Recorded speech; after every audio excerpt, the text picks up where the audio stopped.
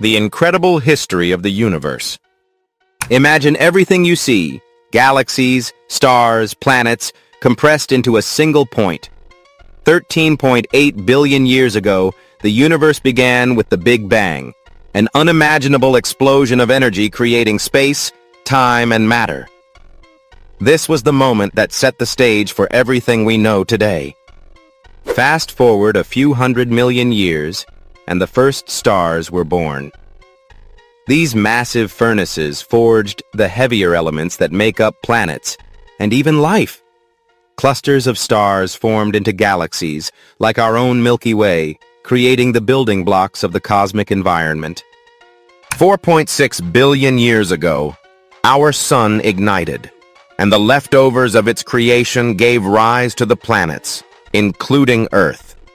Our planet cooled, creating the perfect conditions for